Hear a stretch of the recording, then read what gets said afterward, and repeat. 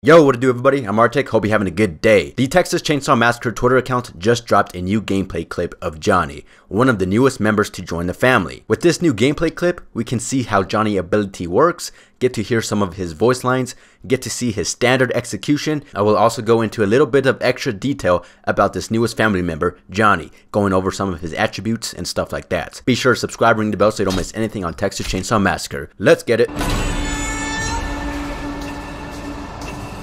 Alright, here it is, Johnny gameplay. I'm gonna let the gameplay play out first for you guys, then I'll talk about it and go in detail after. You ever watch someone die? You ain't never quite the same after that, let me tell you.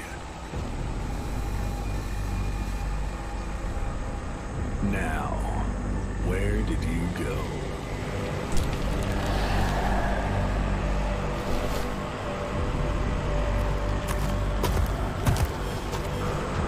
On your tail now.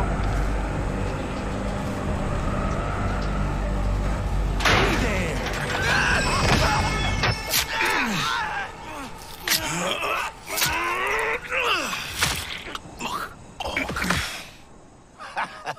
Alright, Johnny looking like a beast already. I like to call Johnny Mini Leatherface, but obviously without the chainsaw. I call Johnny Mini Leatherface because their attributes are very similar. On the left are Johnny's attributes and on the right are Leatherface attributes. And as you can see, they're basically twins. So for savagery, Johnny is just 5 points lower than Leatherface. As for harvesting, Johnny is 5 points higher than Leatherface, and endurance, Johnny is 5 points lower. So again, very similar in attributes wise, just 5 points difference across the board, so keep that in mind. Now back to the gameplay, first thing we notice is his endurance and speed in action. As you can see, he is pretty quick, not as fast as Hitchhiker, I don't think, because Hitchhiker has the highest endurance out of all the family members. He's definitely top 3 in endurance, as you see his stamina bar filling back up quickly as well. Now we get to see his ability in action. His ability is called Hunt. When he activates his ability, he has a chance to see a fresh footprint. Keep in mind the footprint has to be pretty fresh, meaning that the victim just went by through here. I don't think you can find a footprint that's been there for hours already, then he'll be able to track that. Don't think it'll work that way.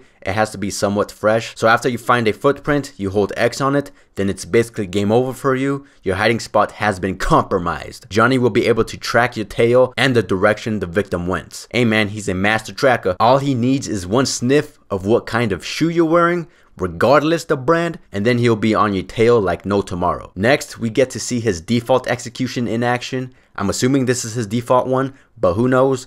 And I gotta say, it's pretty brutal. Stab in the gut, stab at the ribs, then boom, stab at the neck. And the next thing you know, the neck is gushing out like a waterfall. Pretty cool and brutal execution if I do say so myself. But moving on, we got some more fun facts about Johnny. Aside from being able to track the victims, Johnny can also instantly barge through doors as well. And also he's able to close those metal cross spaces similar to how the cook does it. I mean, it seems like Johnny is an overall mad lad. He's a brute, He's the second strongest in the family right behind Leatherface and his endurance is really good as well being tied up with Sissy actually for third place. As for his harvesting which is the amount of blood you get for victims is not so great. It's the second worst in the game. First worst is Leatherface. But hey, it's just blood collecting. They ain't worried about that. Johnny can track down his own victims himself. He doesn't need Grandpa to locate the victims for him. You know what I'm saying? Hope you guys enjoyed Johnny's gameplay and the breakdown of him. Smack the like button for more Texas Chainsaw Massacre and subscribe ring the bell icon to be notified every time we upload a brand new video. Thanks for watching. Have a good one. And I will see you in the next one. Peace.